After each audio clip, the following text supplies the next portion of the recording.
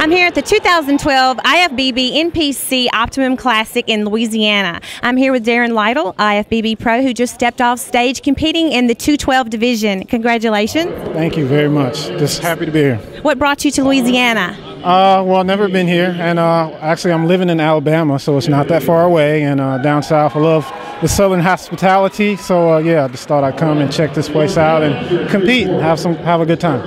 So, how long have you been a pro? Uh, since 2006, I turned pro in Belgium, as a matter of fact.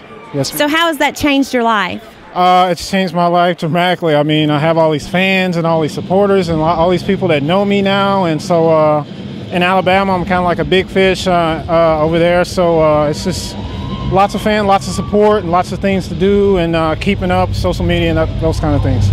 So, what got you into the sport of bodybuilding?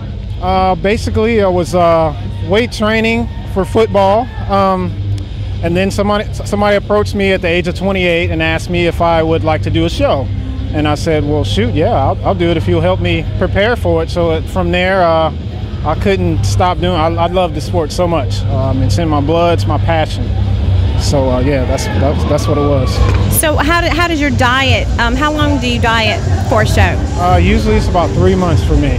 So three months out of the year for, for one show. So this has been half the year I've been getting ready for two shows. So now it's time to take a break and uh, try to put some more muscle on. Awesome. Well, good luck to you and thank you very much.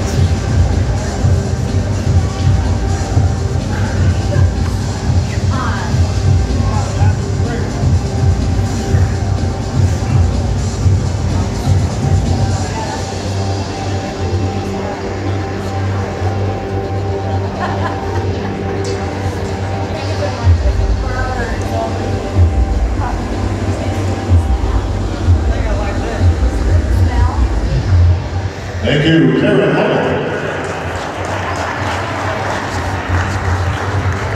Number four, the Boston Bass, Jose